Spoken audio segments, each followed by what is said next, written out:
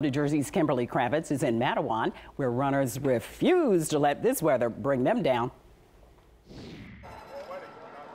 Yes, Stella, it's a hot one, but of course when you're running for a good cause and of course coffee and donuts waiting for you at the finish line doesn't hurt either.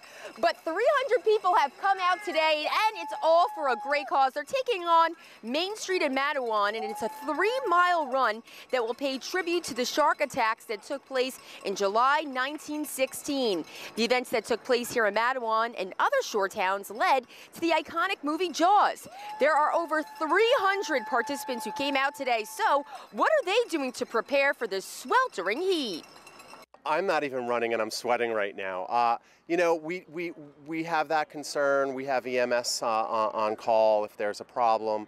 Uh, but we told everybody if you feel that you can't run, then you just walk. It's, it's, it's, to some people it's a race and to some people it's just having going out there and having some fun. Here I am, a little bit water bottle to go in my side pack and hopefully I'll be good to go.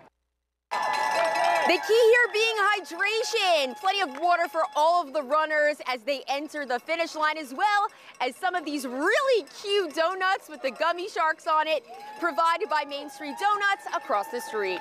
In Matawan, Kimberly Kravitz, News 12, New Jersey.